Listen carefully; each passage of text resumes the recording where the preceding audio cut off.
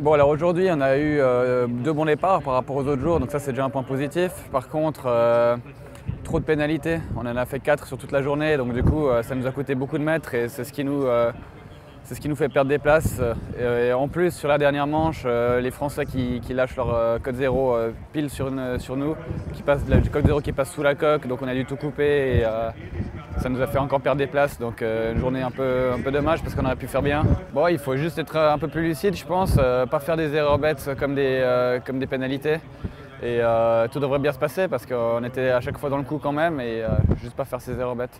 Alors on est un petit peu déçu de la journée après ces beaux départs. ils ont un peu mal géré les croisements avec la flotte et les retours à terre. Ils se sont retrouvés deux trois fois bloqués à terre. Je pense que demain il faut sortir la tête du bateau anticiper plus ce qui se passe, les croisements, et être euh, plus malin que les autres euh, sur ces situations-là. Bah, après une journée difficile, même pendant la journée, c'est toujours, euh, toujours sympa d'entendre les cloches qui sonnent à chaque fois qu'on se rapproche des côtes. Donc c'est à chaque fois quand ça nous remonte le moral, ça nous pousse à aller toujours plus loin, donc c'est top.